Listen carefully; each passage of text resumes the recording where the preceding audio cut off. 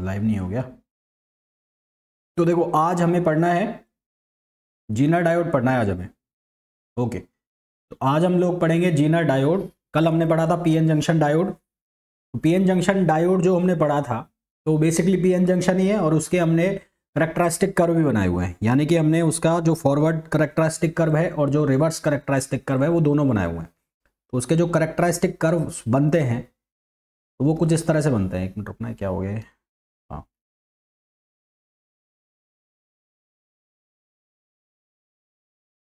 तो characteristic curves जो उसमें बनते हैं, मैं रिवर्स का बना रहा हूँ बस। रिवर्स में जो करेक्टरिस्टिक कर्व बनता है, वो कुछ ऐसा बनता था। ऐसा। और उसके बाद फिर ये सडनली यहाँ से इस तरह से ये इंक्रीज होता था। ये हमारे पास रिवर्स करेक्टरिस्टिक आया था। यहाँ पर जो करंट आई थी, इसको नाम दिया था मैंने आई आर या आई एस मतलब सैचुरेशन करंट और यहाँ था नेगेटिव अप्लाइड वोल्टेज हम अप्लाई कर रहे थे, जिसको हम रिवर्स वोल्टेज नाम दे रहे थे। और इस वोल्टेज को हमने नाम दिया था ब्रेक डाउन वोल्टेज इस वोल्टेज को हमने नाम दिया था ब्रेक डाउन वोल्टेज ठीक है? यहाँ तक का ध्यान है अभी तक सबको?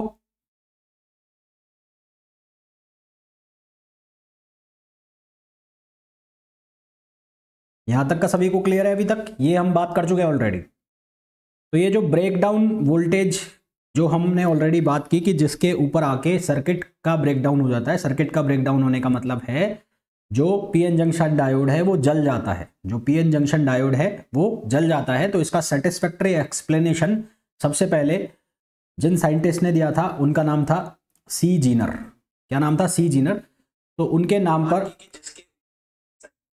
तो उनके नाम के ऊपर इस ब्रेकडाउन वोल्टेज का नाम पड़ गया क्या? ब्रेकडाउन वोल्टेज की जगह जीनर वोल्टेज और जो ब्रेकडाउन करंट थी या सेचुरेशन करंट थी, उसका नाम पड़ गया जीनर करंट तो ब्रेकडाउन वोल्टेज और जीनर वोल्टेज अलग अलग नहीं है सेम कहानी है। ब्रेकडाउन वोल्टेज वो वोल्टेज जिसके ऊपर सर्किट ब्रेकडाउन हो जाता है, यानी कि जो सर्किट है वो जल जाता है, उसको हम ब्रेकडाउन वोल्टेज कहते हैं।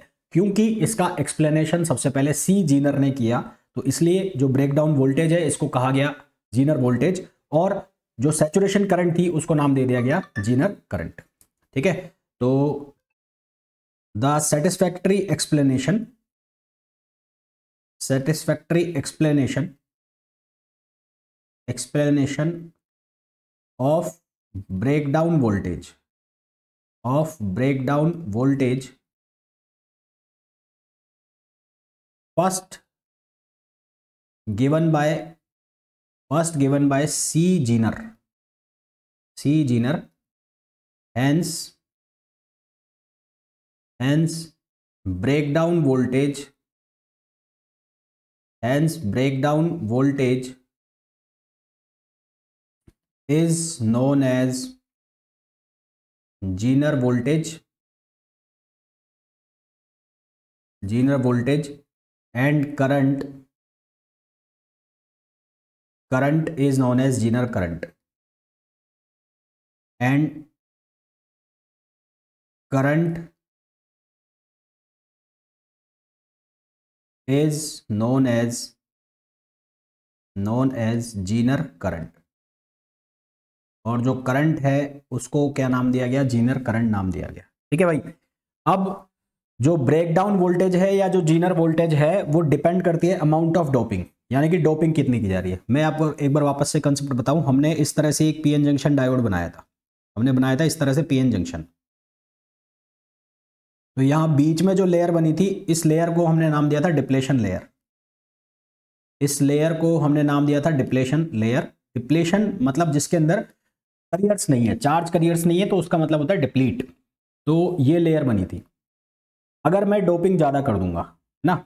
If doping is more doping is more doping अगर ज़्यादा होगी तो ये जो डिप्लेशन लेयर है, इसकी विर्थ कम हो जाएगी। इसकी विर्थ कम होने का मतलब है, ये लगातार कम होती जाएगी अगर डोपिंग ज़्यादा होगी। तो इसकी विर्थ क्या होगी? कम होगी। तो width of depletion layer width of depletion layer decreases इसकी जो विर्थ है, वो कम होगी। और अगर डोपिंग कम होगी तो इफ़ डोपिंग इज़ लेस अगर डोपिंग कम होगी तो विथ जो है, वो ज़्यादा होगी। Width of depletion layer increases width of depletion layer increases और जो ब्रेक डाउन वोल्टेज है, वो सारा का सारा चक्कर क्या है कि ये जो डिप्लेशन लेयर है, ये खत्म हो जाए। जैसे ये डिप्लेशन लेयर खत्म होगी तो जो पूरा का पूरा पीएन जंक्शन डायोड है, वो पूरा का पूरा खराब हो जाएगा। वो टूट जाएगा। तो कुल मिला के इसको उड़ाना है हमें, इस चीज़ को। तो अगर ये विथ कम है तो कम ब्रेक डाउन वोल्टेज पर ही क्या हो जाएगा? सर्किट ब्रेक हो जाएगा। और अगर ये विथ ज़्यादा है तो बहुत ज़्यादा जो वोल्टेज है, उसके ऊपर सर्किट क्या होगा? ब्रेकडाउन होगा। तो दोनों ही केस में लफड़ा है। यानी कि बहुत ज़्यादा के ऊपर, इसका मतलब है बहुत ज़्यादा पावर खाई जा रही है। तो दोनों ही केस में क्या होगी? दिक्कत होगी। तो जो ब्रेकडाउन वोल्टेज है या जो जीनर वोल्टेज है, वो डिपेंड कर रही है किसके ऊपर? वो अमाउंट ऑफ़ डोपिंग के ऊपर डिपेंड कर रही है। है ना? तो जीनर जीनर वोल्टेज और ब्रेकडाउन वोल्टेज जीनर वोल्टेज और breakdown voltage breakdown voltage depends on depends on amount of doping amount of doping ये डोपिंग के ऊपर डिपेंड कर रहा है अमाउंट ऑफ़ डोपिंग डोपिंग यदि ज़्यादा है तो विथ कम हो जाएगी। विथ कम हो जाएगी तो कम वोल्टेज पर ही जीनर जो जो जीनर जो, क्या बोलते हैं अपना पीएन डायोड है, वो ब्रेक हो जाएगा, है ना? तो if if doping is if doping is less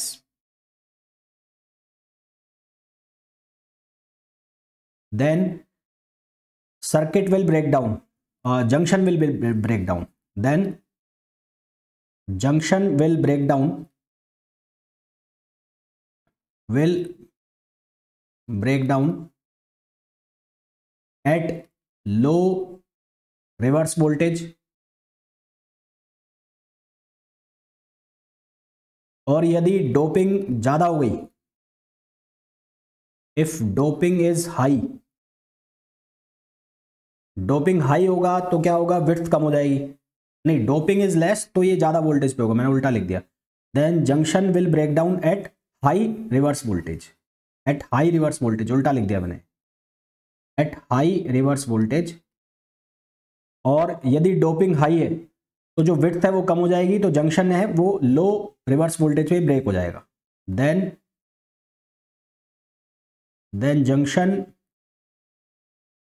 will break at low reverse voltage यानी कि दोनों ही केसेस में पंगा है कि ज़्यादा कर दिया तो भी दिक्कत है और कम कर दिया तो भी दिक्कत है। इसलिए जो डोपिंग है वो मॉडरेट अमाउंट की की जाती है। मॉडरेट मतलब ना ज़्यादा, बहुत ज़्यादा और ना बहुत ज़्यादा कम। तो जीनर डायोड जो है वो बनाया जाता है। कैसे बनाया जाता है? जीनर डायोड बनाने के लिए मॉडरेट डोपिंग की जाती है। पीएन जंक्शन में ही मॉडरेट डोपिंग कर दी जाती है। मतलब एक्स्ट्रा कुछ अलग से कोई मटेरियल लेके जीनर डायोड नहीं बना रहे हैं। जीनर डायोड बनाने के लिए हम क्रिस्टल डायोड में ही और थोड़ी सी और डोपिंग को बढ़ा देते हैं। डोपिंग को थोड़ा सा और बढ़ा देते हैं तो वो किसकी तरह काम करने लग जाता है? Zener diode. जीनर डायोड का बेसिक फ़ंक्शन क्या है कि Zener diode is mainly use to prevent. Mainly use to prevent to burn out the PN junction. जो पीएन जंक्शन जल रहा था अभी तक, उसको जलने से बचाने के लिए जीना डायोड का यूज़ किया जाता है। तो जीना डायोड बेसिकली बन कैसे रहा है? जीना डायोड को बनाने के लिए जो हमारा नॉर्मल क्रिस्टल डायोड है, उसमें ही थोड़ी सी डॉपिंग और बढ़ा दी। थोड़ी सी डॉपिंग को टेक्निकली नाम हम दे रहे हैं मॉडरेट डॉपिंग है ना? तो a Zener diode a Zener diode a Zener diode is form form by moderate amount of doping moderate amount of doping moderate amount of doping in normal crystal diode normal crystal diode या PN junction diode भी बोल सकते हो। Normal crystal और PN junction diode PN junction diode तो ये जो PN junction diode है, इसमें थोड़ी सी डोपिंग और बढ़ा दी। तो ये क्या बन गया? जीनर डायोड जीनर डायोड जो है, वो बेसिकली यूज़ किया जा रहा है to prevent the PN junction from burnout PN junction को जलने से बचाने के लिए जीनर डायोड का यूज़ किया जाता है, ठीक है?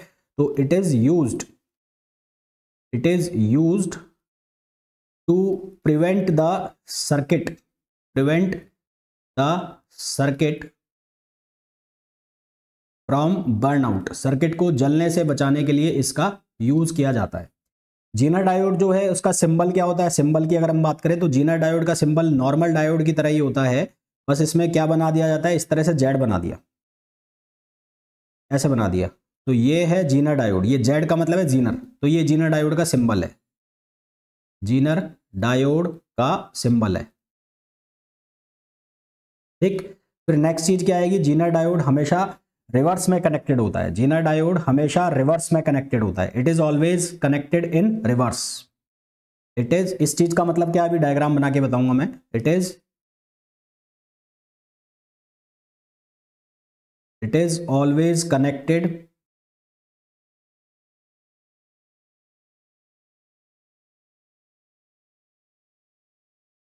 it is always connected in reverse reverse का मतलब है कि ये हमेशा किसमें रहेगा? रिवर्स बाइसिंग में रहेगा।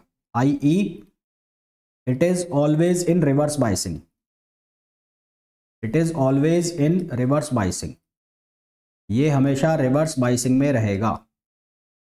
फिर नेक्स्ट पॉइंट क्या आता है? जो जीना डायोड है, जब फॉरवर्ड बाइसिंग में होगा, जब सर्किट फॉरवर्ड बाइसिंग में होगा तो जीना डायोड नॉर्मल डायोड की तरह काम करेगा, पर जैसे ही सर्किट रिवर्स बाइसिंग में आएगा तो जीना डायोड ऑन स्टेट में आ जाएगा, ठीक है?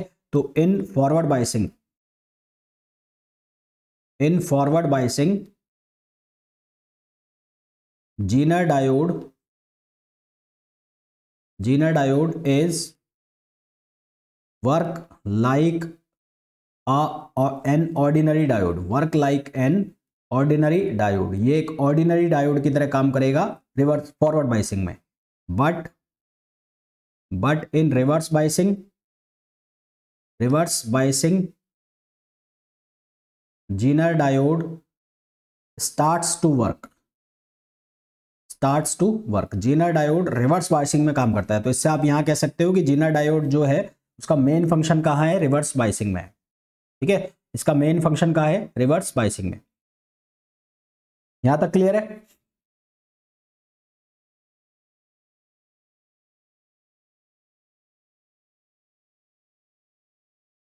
फिर एक और इंपॉर्टेंट पॉइंट है।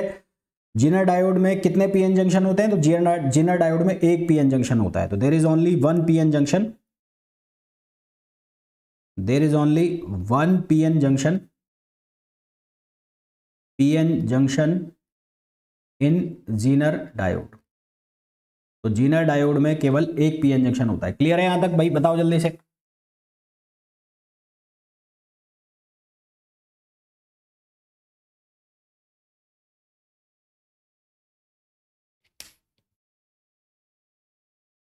चलिए साहब, अब बात करते हैं आगे की।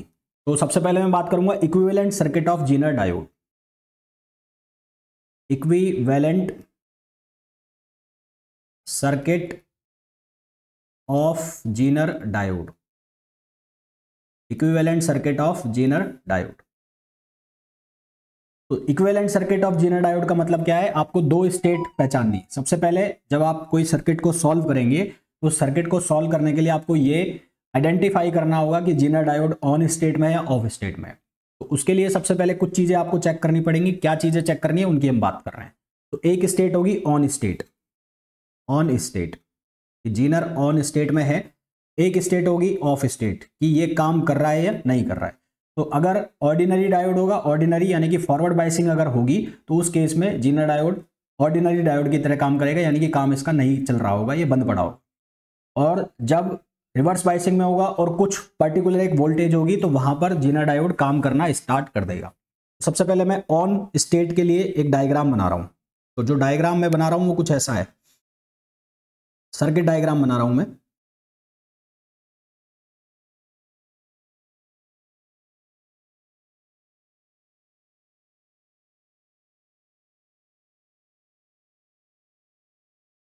ये है प्लस ये है माइनस यहाँ पर जो वोल्टेज अप्लाई है, ये है बी और यहाँ जो करंट फ्लो हो रहा है, वो हो रहा है आई जेड देखो कनेक्शन देखना ध्यान से जो मैंने कनेक्शन किया है। कनेक्शन मैंने ऐसे किया है, ये पी है और ये एन है।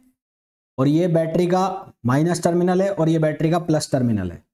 तो इसको जब हम कनेक्ट करके दिखाते हैं, कनेक्ट करके दिखाते हैं तो कनेक्ट करके दिखाते हैं तो ये कैसे कनेक्टेड है? रिवर्स बाइसिंग में, यानी कि यहाँ माइनस से क्या कनेक्टेड है? पी, और यहाँ प्लस से क्या कनेक्टेड है? एन। तो जब हम इसको सर्किट में कनेक्ट करके दिखाते हैं तो ये हमेशा रिवर्स बाइसिंग में कनेक्ट करना पड़ता है हमें, पहली चीज़।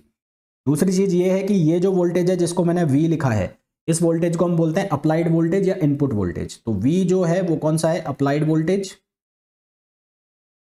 अप्लाइड वोल्टेज और इनपुट वोल्टेज इनपुट वोल्टेज और एक और वोल्टेज होगा यहाँ पर, जो जीनर का वोल्टेज होगा। तो जो जीनर का वोल्टेज होगा, उसको हम लिखेंगे वी जेड से।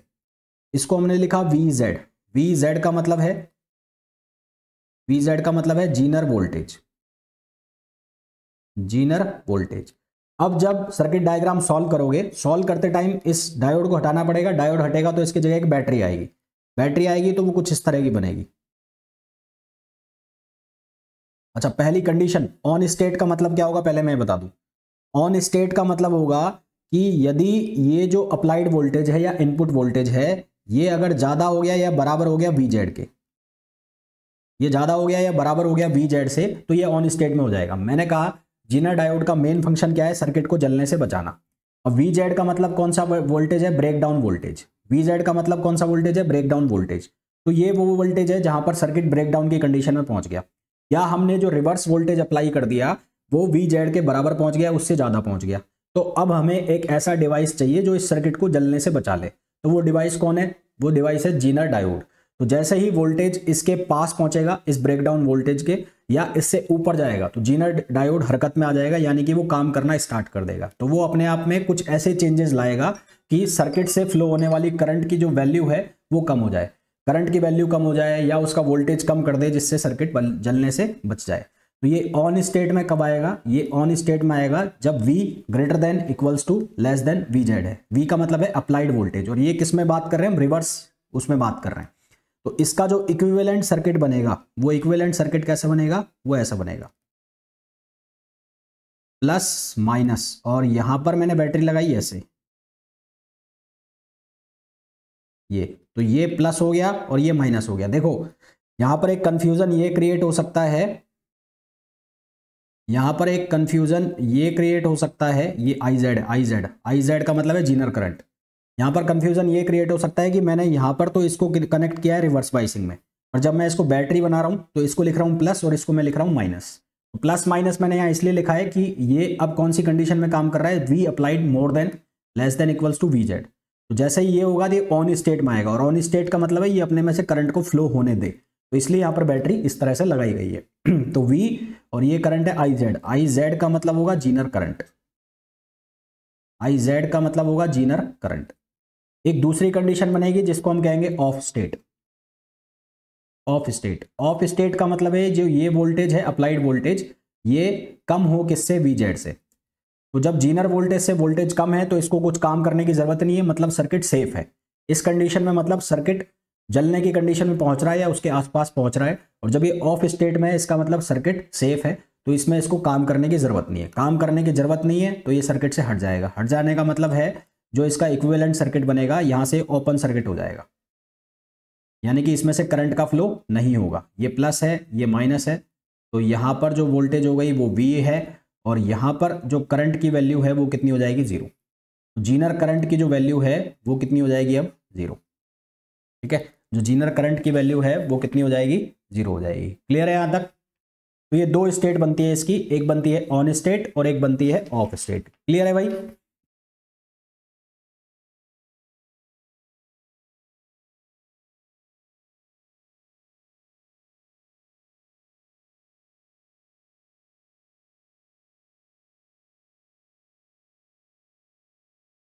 तो सबसे पहली चीज़ आपको क्या करनी है?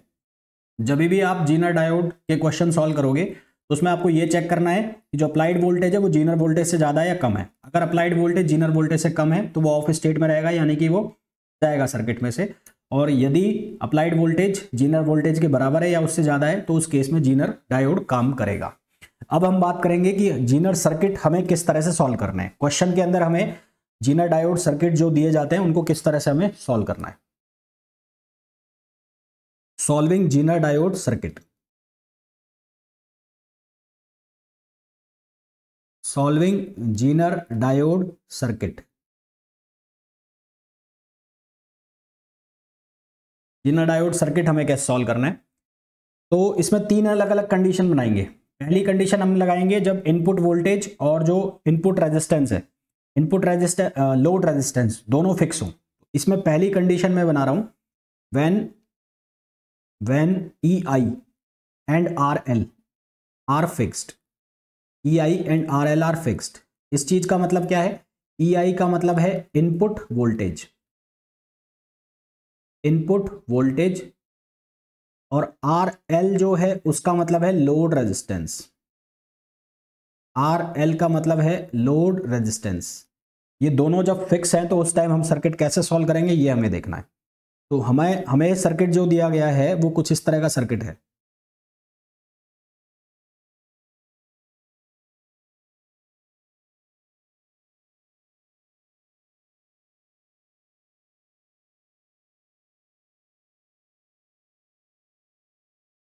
यहाँ पर लगा दिया जीनर डायोड। ये जीनर डायोड लगा दिया। यहाँ से करंट का फ्लो हो रहा है। ये इनपुट वोल्टेज है, एक यहाँ से इनपुट वोल्टेज है। ये लगा हुआ है रेजिस्टेंस यहाँ पर है प्लस और यहाँ पर है माइनस यहाँ से करंट का फ्लो रहा है, यहाँ करंट गया, यहाँ करंट गया, यहाँ लिखा हुआ है आर एल और आर एल के अक्रॉस जो वोल्टेज है, उसको लिखा मैंने ई e नॉट सबसे पहले चीज़ों का मतलब समझ लेते हैं मतलब क्या है?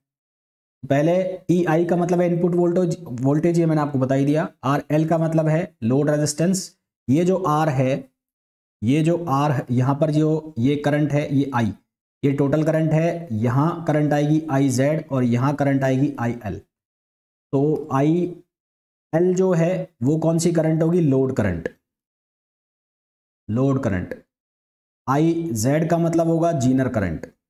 आई जेड का मतलब होगा जीनर करंट। और जो ये ई e नॉट लिखा है ई e नॉट इसको हम बोलेंगे जीनर आउटपुट वोल्टेज इसको हमको क्या बोलेंगे? आउटपुट वोल्टेज इसको हम क्या बोलेंगे? आउटपुट वोल्टेज ठीक है?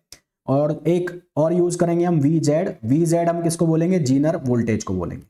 जीनर वोल्टेज और जीनर वोल्टेज और आउटपुट वोल्टेज दोनों सेम रहेंगे क्योंकि दोनों पैरेलल में लगे हुए हैं। तो जो आउटपुट वोल्टेज होगा अप्रोक्सीमेटली वही यहाँ पर क्या होगा? जीनर वोल्टेज होगा। लगभग लगभग दोनों की वैल्यू क्या होगी? बराबर होगी।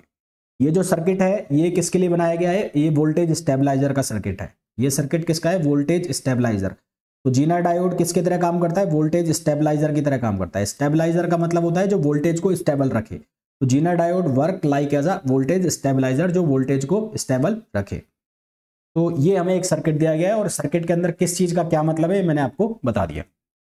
अब सबसे पहले आपको क्या करना है? सबसे पहले आपको वोल्टेज की वैल्यू निकालनी है। वोल्टेज की वैल्यू मतलब ई e नॉट की वैल्यू निकालनी है। तो फ़र्स्ट स्टेप आपका क्या रहेगा? किसी भी सर्किट के लिए find out find out value of E naught value of E naught तो ई e नॉट का मतलब है, उसको हम यहाँ पर कहेंगे वी ई नॉट का मतलब कहेंगे हम यहाँ पर वी है ना? तो वी ई नॉट की वैल्यू हमें निकाल लें ई नॉट की वैल्यू ई नॉट को हम कंपेयर करेंगे जीनर वोल्टेज से। तो जीनर वोल्टेज अगर अगर ई नॉट से ज़्यादा हो गया तो तो सर्किट में जो जीनर डायोड है, उस वो ऑफ़ स्टेट में रहेगा। और अगर ये ई नॉट ज़्यादा हो जाएगा किससे? वी जेड से। तो फिर ये काम करेगा, यानी कि ऑन स्टेट में आएगा। तो सबसे पहले हमें ई नॉट निकालना है। ई नॉट निकालने के लिए हमें क्या करना है? हमें जीनर डायोड को सर्किट से हटा देना है। तो पहली स्टेप क्या रहेगी? To find out value of E naught और इसके लिए हम क्या करेंगे? Remove remove Zener diode from the circuit. Remove Zener diode from the circuit. From the circuit. Circuit से हमने क्या करा? जीना डायोड को हटा दिया। सर्किट से जीना डायोड को हटाया तो हमारा जो इक्विवेलेंट सर्किट है वो कुछ इस तरह का बनेगा।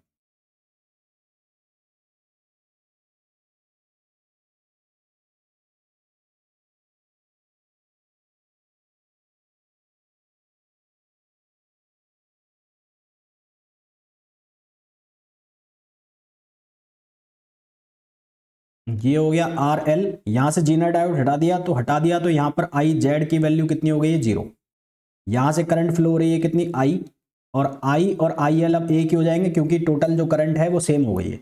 यहाँ पर रेजिस्टेंस लगा हुआ है ऑलरेडी और ये रेजिस्टेंस है आर ये रेजिस्टेंस है आर और यहाँ पर एक वोल्टेज आपने अप्लाई किया हुआ है, ये है प्लस ये है माइनस और ये वोल्टेज जो है वो कौन सा है? ई आई वोल्टेज है।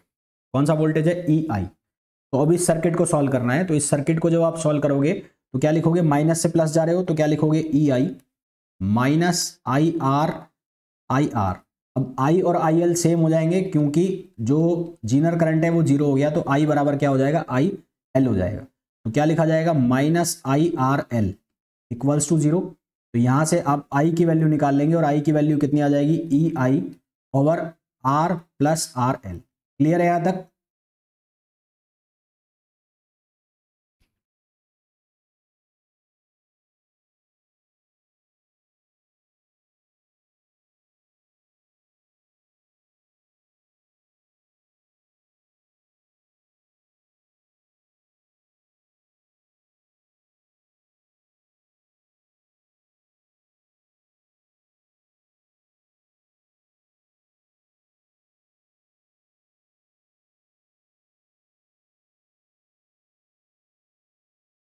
नेक्स्ट स्टेप आपको क्या करना है? आपको ई नॉट की वैल्यू निकालनी है और ई नॉट कहाँ है? कहाँ है? यहाँ पर है ई नॉट तो ये जो ई नॉट है, इस ई नॉट को हम वी भी बोलेंगे और ये ई नॉट किसके? अक्रॉस वोल्टेज है। लोड रेजिस्टेंस के अक्रॉस वोल्टेज है। लोड रेजिस्टेंस के अक्रॉस वोल्टेज कितनी होगी? आई आर एल तो find out E naught next step जो रहेगा मतलब इसका नेक्स्ट पॉइंट रहेगा find out the value of E naught तो ई नॉट की जो वैल्यू रहेगी, उसको हम किसके बराबर लिखेंगे? वी के बराबर। और वो रहेगा वोल्टेज अक्रॉस लोड रेजिस्टेंस तो लोड रेजिस्टेंस के अक्रॉस वोल्टेज हो जाएगा I R L I I की वैल्यू आपने निकाल ली है। तो V equals to E naught इसकी वैल्यू कितनी आ जाएगी? I. I की वैल्यू आपने कितने निकाली? E I over R plus R L तो ये बनेगा R L E I over R plus R L ये स्टेप आपको हर जीनर डायोड के सर्किट में करना है। ये स्टेप आपको हर जीनर डायोड के सर्किट में करना है। इसको ध्यान रखना है। क्लियर है यहाँ तक?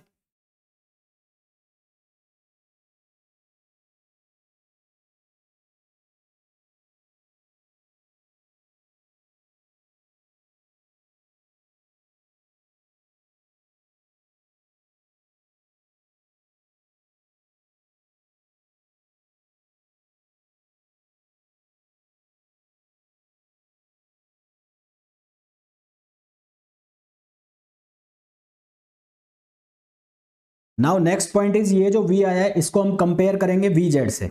Now compare now compare V with V Z V with V Z if if V greater than equals to V Z तो जो जीनर है, वो किस स्टेट में होगा? ऑन स्टेट में। Then Zener is in is on state और यदि v less than equals to है वी जेड लेस देन है वी जेड से, यदि v लेस देन है वी जेड से तो उस केस में जो जीनर होगा वो ऑफ़ स्टेट में होगा। Zener is in off state वापस सुनो, यदि v greater than equals to है वी जेड तो जीनर ऑन स्टेट में होगा, और यदि v less than V Z है तो जीनर ऑफ़ स्टेट में होगा। ठीक है? तो अब हम दोनों कंडीशन चेक करेंगे, पहली ऑन स्टेट की और दूसरी ऑफ़ स्टेट की। पहली कंडीशन ऑन स्टेट और ऑन स्टेट का मतलब है कि वी ज़्यादा है और बड़ा है किससे? वी जेड से।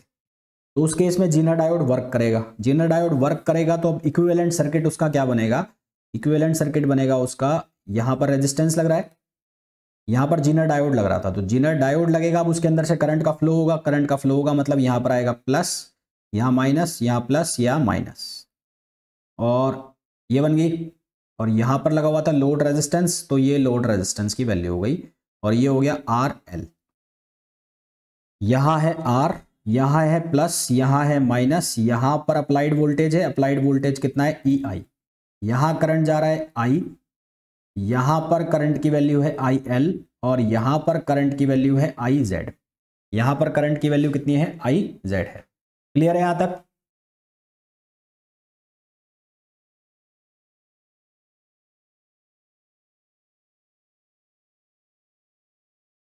तो अब हमारा ये केस चल रहा है, जिसमें वोल्टेज की वैल्यू जीनर वोल्टेज से चाहे ज़्यादा भी चली जाए तो उस केस में भी जो आउटपुट वोल्टेज है, वो किससे ज़्यादा नहीं होगा? जीनर वोल्टेज से ज़्यादा नहीं होगा।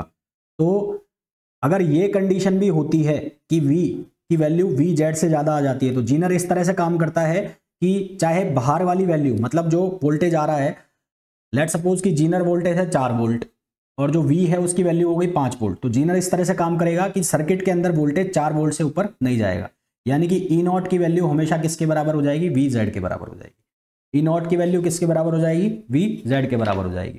तो अब यहाँ से देखो किरचॉफ वोल्टेज लॉ लगाओ किरचॉफ करंट लॉ लगाओ करंट लॉ केसीएल अप्लाई करोगे तो क्या बन रहा है? I equals to I Z plus I L KCL apply करोगे तो क्या बन रहा है? I Z I equals to I Z plus I L I Z का मतलब है जीनर करंट और आई एल का मतलब है लोड करंट तो यहाँ से जो जीनर करंट है उसकी वैल्यू आ गई I minus I L Zener current की जो वैल्यू है वो क्या आ गई? आई माइनस आई एल ये जीनर करंट की वैल्यू आ गई। लोड करंट की वैल्यू कैसे निकालेंगे? लोड करंट आई एल वो किसके बराबर होगा? वो बराबर होगा E naught upon R L E naught upon R L क्योंकि ई नॉट की वैल्यू फिक्स हो गई और लोड रेजिस्टेंस का उसमें भाग लग जाएगा। तो किसकी वैल्यू आ जाएगी? आई एल की वैल्यू आ जाएगी। इसकी वैल्यू आ जाएगी? आई एल की। क्लियर है यहाँ तक?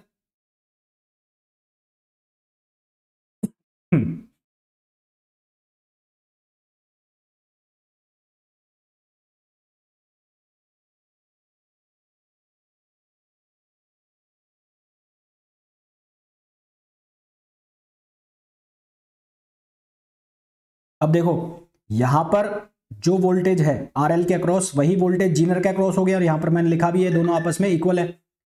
तो अगर मैं इसका इक्विवेलेंट सर्किट बनाऊँ मतलब ये लूप मैं लेना चाहूँ, ये लूप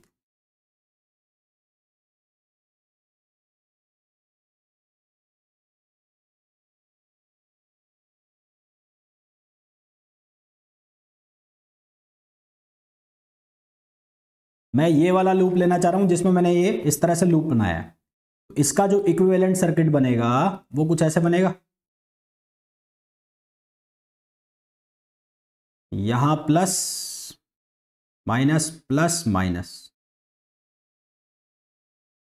ये हो गया ई e आई ये हो गया प्लस ये माइनस ये हो गया आर यहाँ करंट फ्लो कर रहा है कितना? आई ये प्लस ये माइनस तो यहाँ पर जो वोल्टेज हो गया, वो ई नॉट वोल्टेज हो गया। कौन सा हो गया? ई नॉट देखो, क्या सर्किट में कॉम्बिनेशन बन रहा है? ये बनेगा ई e आई ये माइनस से प्लस है। यहाँ आएगा माइनस आई आर और यहाँ प्लस से माइनस जा रहा है तो ई e नॉट और ये किसके बराबर हो गया? ज़ीरो तो आई की जो वैल्यू है वो कितनी हो गई? E I minus E naught over R I की वैल्यू हो गई E I minus E naught over R और यदि आपसे पूछा जाए कि जीनर में कितनी पावर कंजम्पशन हो रही है तो power consumption in Zener diode power consumption in Zener. तो जीनर में जो पावर कंजम्पशन होगा पी जेड वो किसके बराबर होगा? वी जेड और आई जेड आई जेड की वैल्यू किसके बराबर होगी? आई जेड की value I Z equals to I minus I L और ये वैल्यू आप ऑलरेडी निकाल चुके हो आई की। आई एल की वैल्यू आप कैसे निकालोगे? ऐसे निकालोगे। क्लियर है यहाँ तक?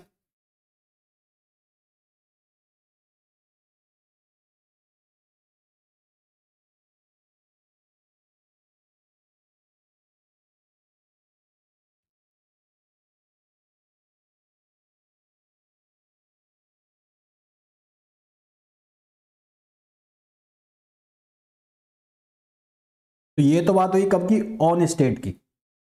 ये ऑन स्टेट की बात हो गई। अब मैं बात करूँगा ऑफ़ स्टेट की। ऑफ़ स्टेट ऑफ़ स्टेट का मतलब क्या होगा? कि जो V है, वो लेस देन हो गया वी जेड से। V जब लेस देन वी जेड से हो गया तो उस केस में जीनर काम ही नहीं करेगा। और जीनर काम ही नहीं करेगा तो जो सर्किट है, वो कुछ इस तरह से बनेगा। यहाँ पर हो गया ये ओपन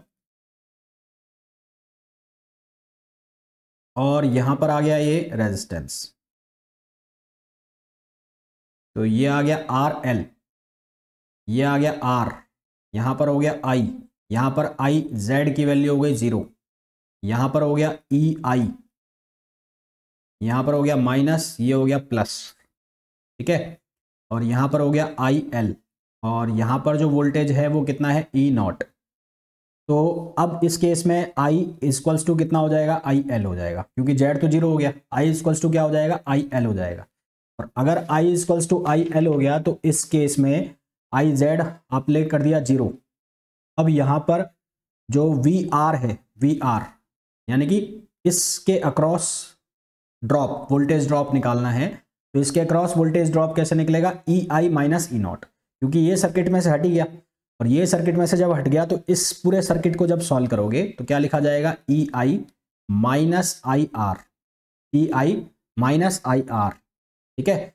और माइनस यहाँ पर अगर आप लोड रेजिस्टेंस को कंसीडर कर रहे हो तो I R L equals to zero तो यहाँ से आई की वैल्यू निकाल लोगे, जो कि कितनी आएगी? I E I upon R plus R L जो कि आपने पहले भी निकाली थी, ठीक वही तो काम कर रहा हूँ, जो मैं पहले कर चुका हूँ ऑलरेडी और यदि ये आई की वैल्यू आपने निकाल ली और आपसे कहा जाए वोल्टेज ड्रॉप निकालो। तो वोल्टेज ड्रॉप वी आर के अक्रॉस तो वी आर के अक्रॉस वोल्टेज ड्रॉप कितना हो जाएगा? आई आर तो आई की वैल्यू कितनी हो गई है? आई की वैल्यू हो गई ई e आई और upon R plus R L और ये कितना हो गया? ये आर हो गया यहाँ पर। जिसको आप किसके बराबर लिखोगे? जिसको बराबर लिखोगे आप E I minus E not और ई e नॉट की जो वैल्यू होगी, वो किसके बराबर होगी? वी जेड के। और उसकी वैल्यू नहीं वी के बराबर होगी सॉरी ई नॉट की वैल्यू किसके बराबर होगी? वो होगी E I R L upon R plus R L यहाँ दोनों में अंतर है। यहाँ पर यहाँ पर लिखा है आर ये वाला आर और यहाँ पर लिखा है आर एल तो अगर इसको इसके अकॉर्डिंग सॉल्व करते हो तो यही बन जाएगा E I minus E naught clear है यहाँ तक?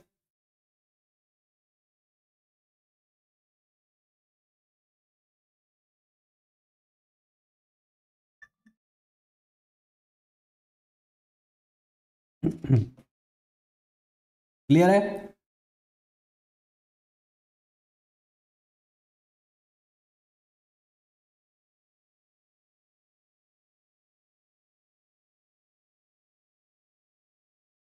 चलो अब क्वेश्चन मैं एक पूछ रहा हूँ, वो सॉल्व करेंगे हम, साथ में सॉल्व करेंगे। तो क्वेश्चन हमें दिया हुआ है कुछ ऐसा, एक सर्किट हमें बना के दिया है। सर्किट कुछ इस तरह से है।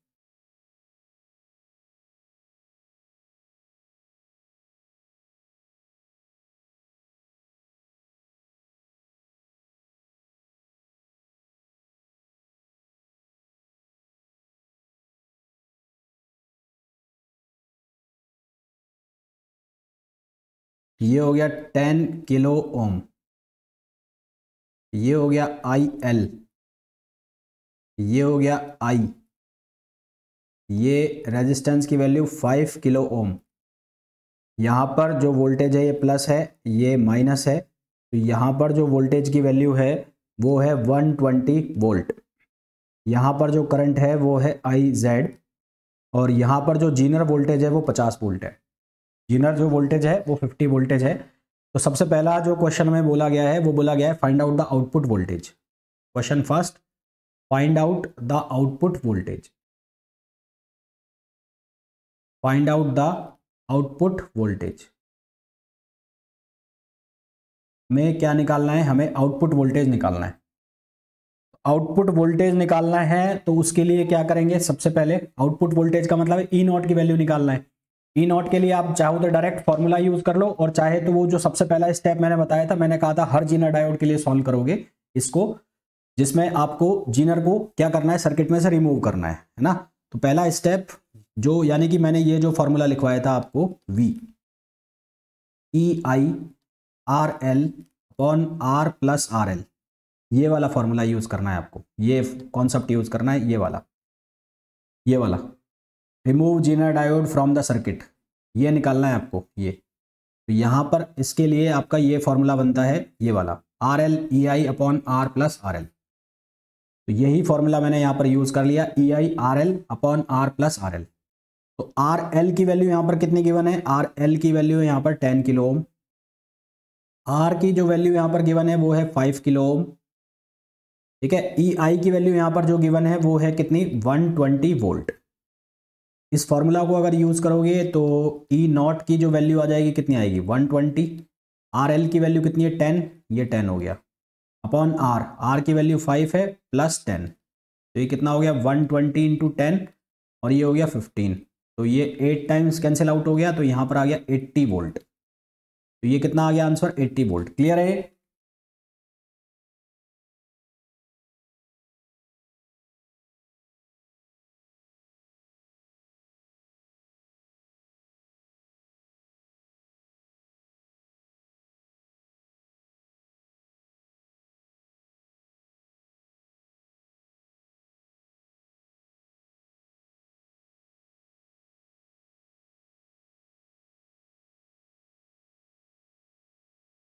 अब सेकंड स्टेप हमारा क्या है? हमें कंपेयर करना है कि जीनर ऑन स्टेट में होगा या ऑफ़ स्टेट में। तो to check state of Zener to check state of Zener तो V, ये वैल्यू निकली है वी की, और वी जेड की वैल्यू है 50 वोल्ट तो V ग्रेटर देन है किससे? वी जेड से। क्योंकि V की जो वैल्यू है वो 80 है, और वी जेड की वैल्यू 50 है। दैट मीन्स कि जीनर कौन सी स्टेट में होगा? ऑन स्टेट में। Zener is in on state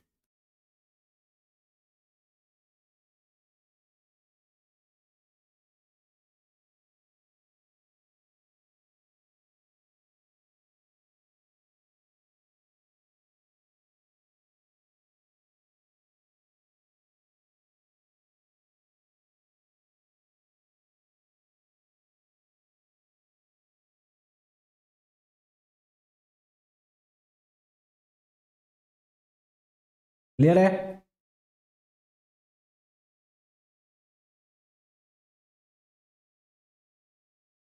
next question जो हमें इसमें पूछा गया है the question is voltage drop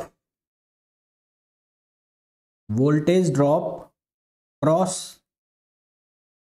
across series resistance voltage drop across series resistance यानी कि ये जो रेजिस्टेंस दे रखा है पाँच ओम का, पाँच किलो ओम का, इसके अक्रॉस वोल्टेज ड्रॉप निकालना है। तो इसके अक्रॉस वोल्टेज ड्रॉप का फॉर्मूला क्या आया था?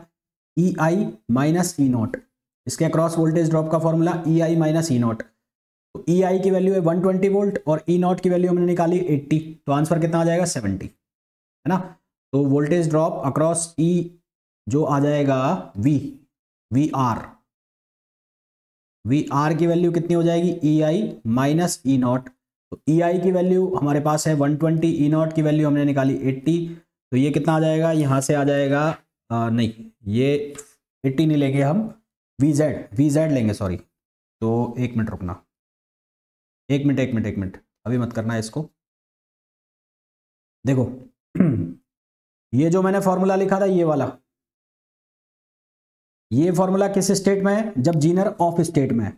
जब जीनर ऑफ़ स्टेट में मैं लिख देता हूँ यहाँ पर, मैं लिख देता हूँ यहाँ पर when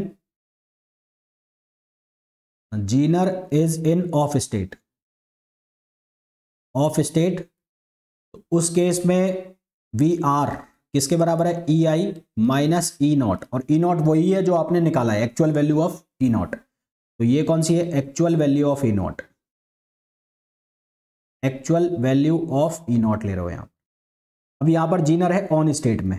When when Zener is in off state on state sorry Zener is in on state तो उस केस में वी आर की वैल्यू क्या लेनी है? E I minus E not और ई e नॉट किसके बराबर होगा? वी जेड के बराबर। क्यों? क्योंकि जब जीनर ऑन स्टेट में होता है तो V greater than equals to क्या हो जाता है? वी नॉट यानी कि वोल्टेज कितना ज़्यादा हो, जो सर्किट है, वो वोल्टेज किसका कंसिडर करेगा? वी जेड का। तो वी जेड की वैल्यू वी ई नॉट की वैल्यू किसके बराबर हो जाएगी? वी जेड और वी जेड की वैल्यू आपको कितनी दी हुई है? पचास. तो इसके अकॉर्डिंगली आंसर जो आ जाएगा, वो आ जाएगा वन ट्वेंटी माइनस फिफ्टी तो यहाँ पर आ गया सेवेंटी आंसर आ गया. तो इस चीज़ को आपको खासा ध्यान रखना है कि जीनर ऑन स्टेट में आ रहा है या ऑफ़ स्टेट में आ रहा है. क्योंकि हमने यहाँ पर देख लिया है कि ये कौन सी स्टेट में?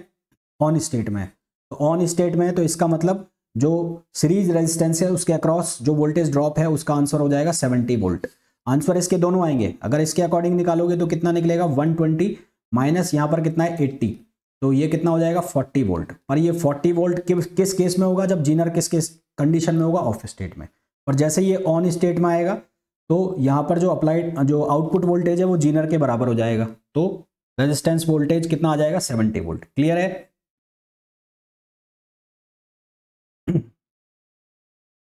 केस में अब इसका जो सेकंड केस है सेकंड केस में मैं ई e आई को कर रहा हूँ फिक्स्ड तो ई e आई मतलब जो इनपुट वोल्टेज है अप्लाइड वोल्टेज है, उसको मैं फिक्स कर रहा हूँ। जीना डायोड की बात कर रहे हैं हम।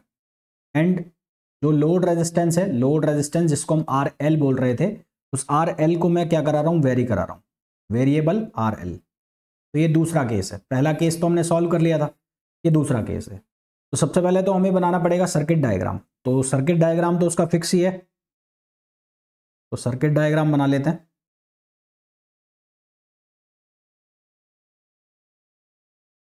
ये बन गया जेनर डायोड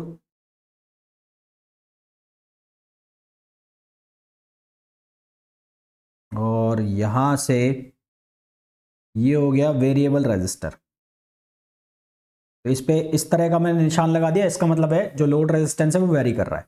तो ये है आर और ये है आर एल यहाँ पर है जीना डायोड जीना डायोड की वोल्टेज है वी जेड यहाँ पर प्लस यहाँ पर माइनस ये करंट का फ्लो कर रहा है करंट हो गई आई यहाँ पर करंट हो जाएगी आई एल और यहाँ जो करंट आ जाएगा वो हो जाएगा आई जेड ठीक है? यहाँ जो करंट आ जाएगा वो हो जाएगा आई जेड और यहाँ पर जो वोल्टेज डेवलप होगा उसको हम कहेंगे ई e नॉट तो पहला स्टेप तो आपको क्या करना है? जो मैंने आपको बताया था फिक्स है। सबसे पहले आपको वी की वैल्यू निकालनी है सो दैट आप ये कंपेयर कर पाओ कि जीना डायोड ऑन स्टेट में या ऑफ़ स्टेट में है ना?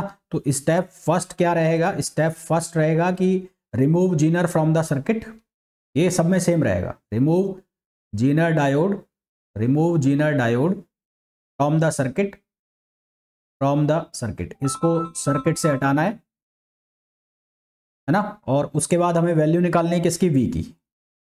And find out the value of E and find out find out the value of E value of E not और ई e नॉट की जो वैल्यू होगी वो किसके बराबर होगी? वो बराबर होगी वी नॉट के.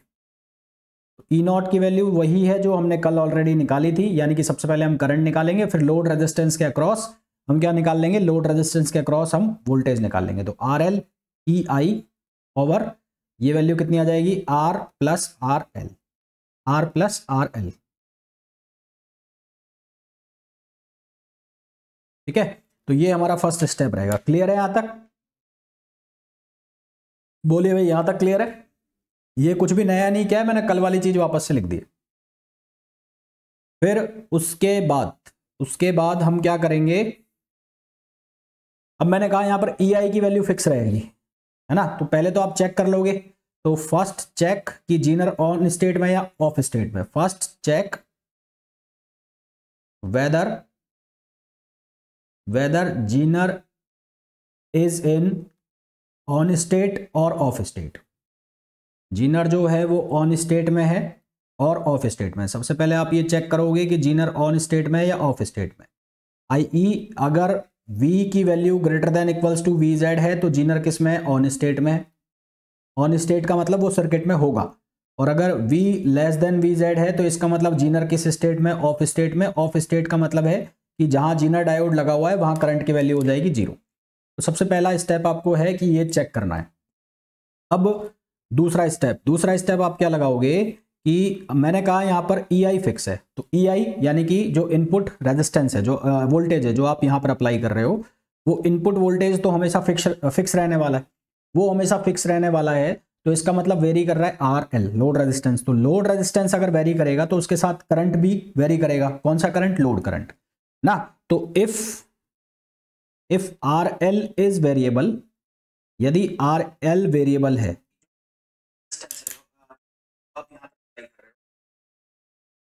यदि आर एल वेरिएबल है then then I L is also variable तो आई एल जो है, वो भी क्या होगा? वेरिएबल होगा। ठीक है भाई?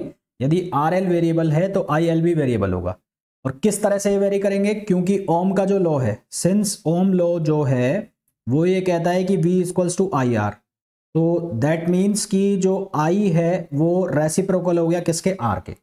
तो मेरे कहने का मतलब है कि यदि लोड रेजिस्टेंस की वैल्यू मैक्सिमम है तो उस केस में, उस केस में आई एल लोड करंट कितना होगा मिनिमम और यदि लोड रेजिस्टेंस की वैल्यू मिनिमम है तो उस केस में जो लोड करंट है, वो क्या होगा मैक्सिमम ये बात क्लियर है? एल मिनिमम की वैल्यू निकालता हूँ तो आई मैक्स की वैल्यू क्या बनेगी? वो हम निकालेंगे। फिर हम ये निकालेंगे कि यदि आर एल मैक्सिमम है तो उस केस में आई मिनिमम क्या वैल्यू होगा वो हमें निकालना है। तो उसके लिए मैं यहाँ से इस सर्किट डायग्राम को कर लेता हूँ कॉपी ये सर्किट डायग्राम मैंने कर लिया कॉपी और इसको लेके चलते हैं हम नेक्स्ट पेज के ऊपर।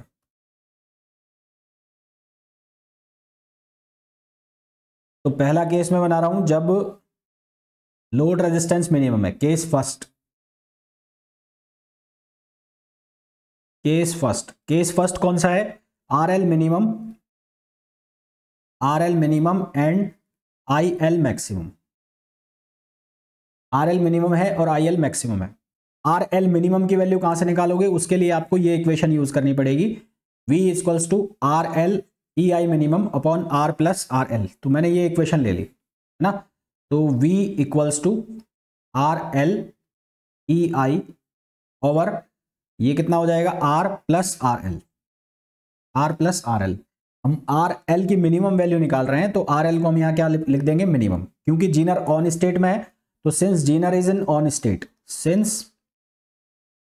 Zener is in on state यहाँ पर जीनर ऑन स्टेट में है ऑन स्टेट का मतलब है V greater than equals to V Z तो यानी कि वी की जो मैक्सिमम वैल्यू हो सकती है, जो कि अलाउ होगी, जो कि अलाउएबल है, वो कितनी हो जाएगी वी जेड तो इस वैल्यू को आप क्या लिख दोगे? वी जेड लिख दोगे। तो इसको लिख दिया आपने वी जेड तो आर एल की आप वैल्यू निकाल रहे हो मिनिमम और ये हो जाएगा ई आई ओवर आर और प्लस आर एल मिनिमम अब आप इसको कर दो क्रॉस मल्टीप्लाई क्रॉस मल्टीप्लाई करोगे तो यहाँ से बनेगा V Z R plus V Z R L minimum equals to R L minimum और ई e आई आपको वैल्यू चाहिए आर एल मिनिमम की. तो आर एल मिनिमम को आपने एक साइड रखा. माइनस कर दिया आपने ई e आई में से वी जेड को. और इक्वल्स टू क्या आया? वी जेड आर तो यहाँ से आर एल मिनिमम की वैल्यू कितनी हो गई? ये हो गई V Z R over E I minus V Z अच्छा एक चीज़ ध्यान रखना, आपको ये रटने नहीं है। आप सिंपल सा ये देखो कि सर्किट में काम कैसा हो रहा है बस। आप तो इस चीज़ को ध्यान रखो कि सर्किट के अकॉर्डिंगली जो इक्वेशन है वो मैं कैसे बना रहा हूँ? कहीं ये फॉर्मूला रटने बैठ जाओ। रटने नहीं है फॉर्मूला तो आर एल मिनिमम की वैल्यू निकल गई। तो आर एल मिनिमम की वैल्यू निकल गई तो इससे हम क्या निकाल सकते हैं? आई एल मैक्स तो आई एल मैक्स यानी कि लोड करंट की मैक्सिमम वैल्यू लोड करंट कहाँ से पास हो रहा है? लोड करंट पास हो रहा है जहाँ पर ई e नॉट है। ई e नॉट किसके अक्रॉस है? आर एल के अक्रॉस तो इसको लिखेंगे ई नॉट और E not upon R L minimum अब ई e नॉट की वैल्यू किसके बराबर हो गई है? वी और वी की वैल्यू किसके बराबर है? वी जेड तो आई एल मैक्स की वैल्यू किसके इक्वल हो जाएगी? वो हो जाएगी V Z V Z upon R L minimum तो ये वैल्यू हो गई किसकी? आई एल मैक्सिमम की। क्लियर है यहाँ तक? पर करंट आ रहा है आई यहाँ करंट जा रहा है आई एल और यहाँ से करंट पास हो रहा है आई जेड तो यहाँ पर लगाओगे आप क्रिचॉफ करंट लॉ यहाँ पर क्रिचॉफ करंट लॉ तो क्रिचॉफ करंट लॉ लगाओगे तो उसके according I equals to I L और प्लस आई जेड अब क्योंकि आई एल की जो वैल्यू है वो मैक्सिमम हो गई है। तो आई की वैल्यू कितनी हो जाएगी? आई एल की जो वैल्यू है वो मैक्सिमम हो गई है। ज़्यादा करंट इसमें चला गया, इसका मतलब इसको बैलेंस करने के लिए जेड में कौन सा करंट जाएगा? मिनिमम तो इसको बैलेंस करने के लिए जेड में अब कौन सा करंट जाएगा? मिनिमम जाएगा। तो जेड में कौन सा करंट चला गया? मिनिमम तो यानी कि मेरे कहने का मतलब ये है कि जब लोड करंट मैक्सिमम हो जाएगा तो उस केस में जो जीनर करंट है वो मिनिमम हो जाएगा। I E Zener current will be minimum Zener current will be minimum तो यहाँ पर जीनर करंट क्या हो जाएगा? मिनिमम हो जाएगा. क्लियर है यहाँ तक बात?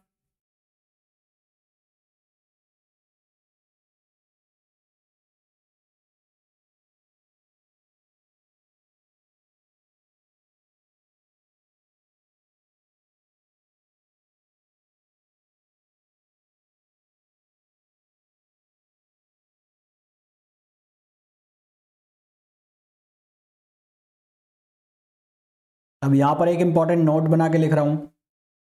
नोट बना के क्या लिख रहा हूँ कि यदि जो लोड रेजिस्टेंस है, यहाँ पर अब मैंने एक फिक्स वैल्यू कर ली। एक फिक्स वैल्यू कर ली है मैंने किसकी? लोड रेजिस्टेंस की। तो यदि किसी भी केस में लोड रेजिस्टेंस की वैल्यू मिनिमम हो जाती है आर एल मिनिमम से। यदि लोड रेजिस्टेंस की वैल्यू किसी भी केस में मिनिमम हो जाती है जो लोड रेजिस्टेंस हमने निकाला है मिनिमम वैल्यू उससे मिनिमम हो जाती है देन जो जीनर डायोड है वो ऑफ़ स्टेट में चला जाएगा। Then Zener will be in off state Zener will be in off state अगर किसी भी कंडीशन में, कैसे भी करके, अगर जो लोड रेजिस्टेंस की वैल्यू है, वो किसी भी कारण से अगर मिनिमम हो गई मिनिमम से भी कम हो गई तो उस केस में जीनर डायोड काम करना बंद कर देगा। तो ये हो गया कौन सा केस? जब हमने आर एल को मिनिमम लिया है और आई एल को क्या लिया है? मैक्सिमम वो ऑटोमेटिकली अंडरस्टूड है कि आर एल मिनिमम होगा तो आई एल क्या हो जाएगा? मैक्सिमम हो जाएगा।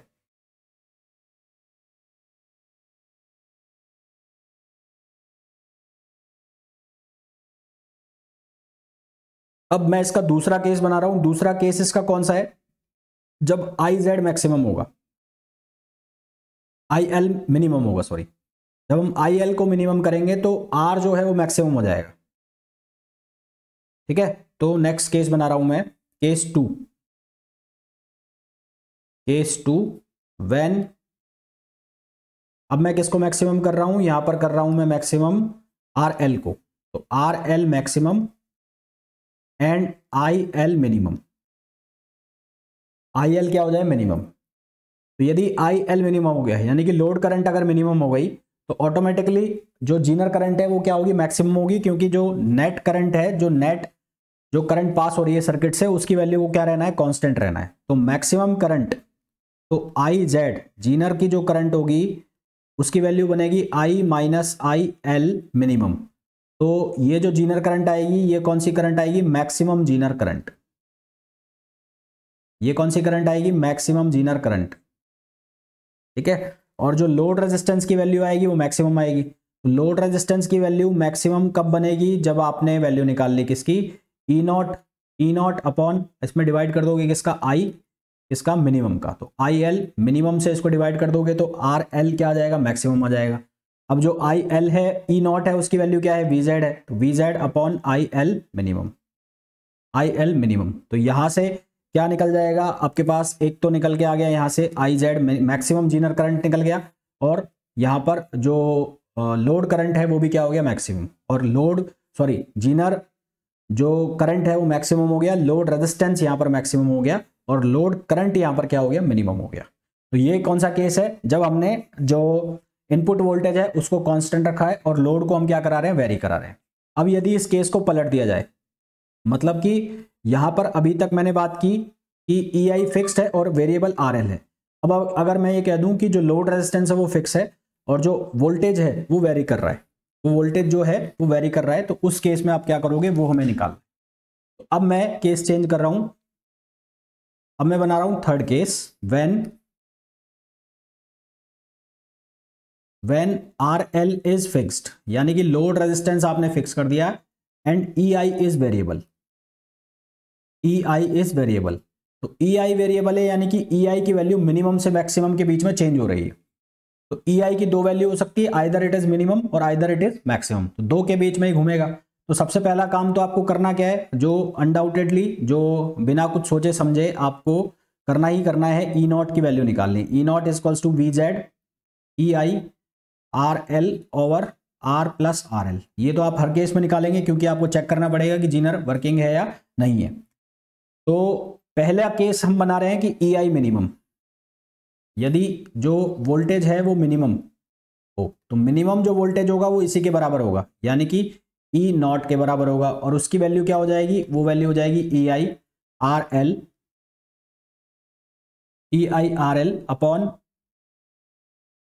R plus R L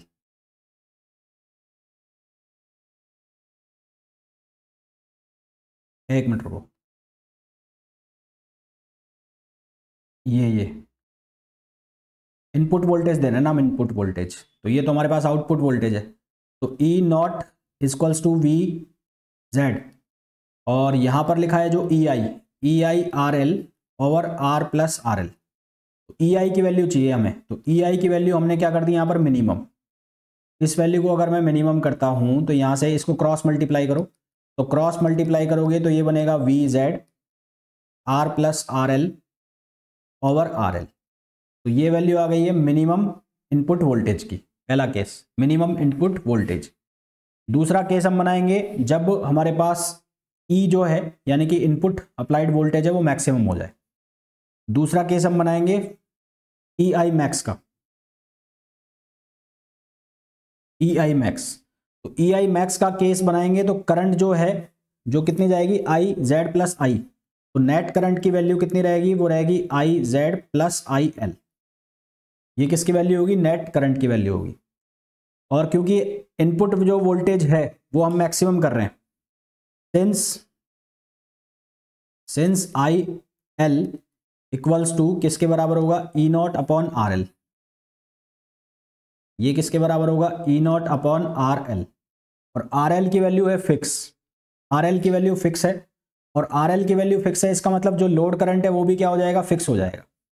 ना? तो ये कौन सी वैल्यू हो गई? फिक्स वैल्यू हो गई।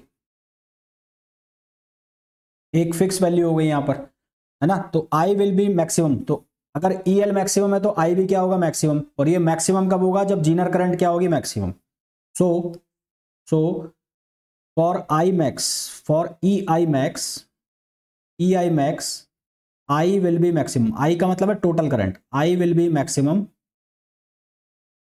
I will be maximum when I Z is maximum भाई, मैंने आई जेड को ही मैक्सिमम क्यों किया है? क्योंकि ये वैल्यू फिक्स हो गई। ये वैल्यू फिक्स क्यों हो गई? क्योंकि लोड रेजिस्टेंस फिक्स हो गया। और लोड रेजिस्टेंस फिक्स हो गया, इसलिए आई एल क्या हो गया? फिक्स हो गया। तो आई जो अब वेरिएबल रह गया, वो डिपेंड कर रहा है जीनर करंट पर। तो अगर आई मैक्सिमम होगा तो जीनर करंट भी क्या होगा? मैक्सिमम होगा। तो आई मैक्स की वैल्यू किसके इक्वल हो जाएगी? आई मैक्स की वैल्यू इक्वल हो जाएगी I Z M I Z M का मतलब है आई जीनर मैक्सिमम और plus I L I L की वैल्यू किसके बराबर है? आई एल की वैल्यू बराबर है E naught upon R L और इसी तरह से ई e आई की जो वैल्यू है, वो किसके बराबर हो जाएगी? I R plus E naught E I की जो वैल्यू है वो किसके बराबर हो जाएगी? I R plus E naught और ई e नॉट जो है वो किसके बराबर है? वी जेड के बराबर। तो इसको हम क्या लिख देंगे? ई आई मैक्स की जो वैल्यू है वो किसके इक्वल हो गई? आई आर और ये आई जो है वो मैक्सिमम हो गया। इसको आप लिखोगे I max R plus V Z ये हो गया maximum input voltage input output हाँ हाँ मैक्सिमम और ये कौन सा हो गया? ये मिनिमम हो गया। तो ये दो अलग अलग केस बन गए आप तो अब आपको जो क्वेश्चंस दिए जाएँगे, वो कोई सा इनमें से एक केस मिलेगा आपको, वो पहचानना पड़ेगा कौन सा केस दिया हुआ है, उसके चलो क्वेश्चन करते हैं अब इसके। तो क्वेश्चन आपको दिया गया है नेक्स्ट पेज पे करते हैं।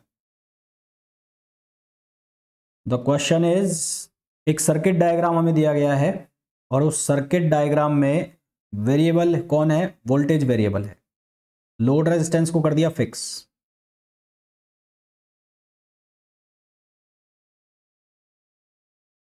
और ये फाइव ओम का रेजिस्टेंस है।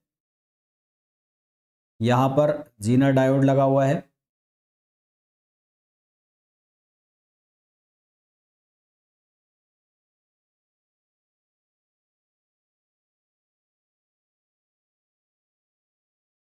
ये हो गया टेन किलो ओम।